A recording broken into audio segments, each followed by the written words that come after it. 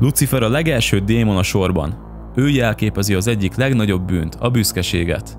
A legszebb és a legerősebb angyal volt bukása előtt, olyannyira, hogy élvezte az Isten kedvességét és tiszteletét is.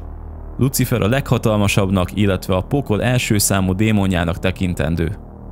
Maga a neve hajnal csillagot jelent. A legveszélyesebb démonként is tartják számon. Nem csak harci tapasztalatai, illetve ereje miatt, hanem kimagasló intelligenciájának köszönhetően.